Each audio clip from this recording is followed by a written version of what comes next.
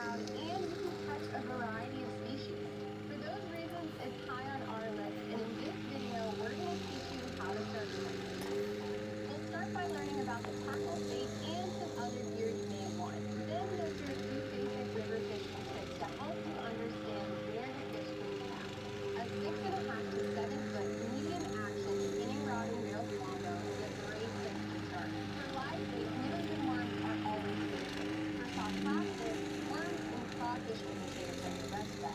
Hard baits crankbaits or jigs, and spoons are all.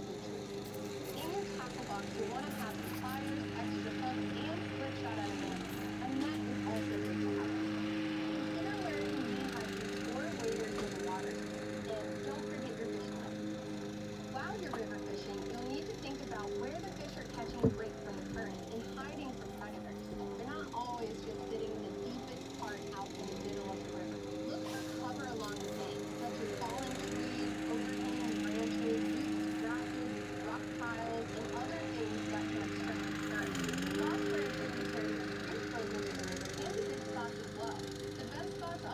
combination of these characteristics. In faster water, give the crankbait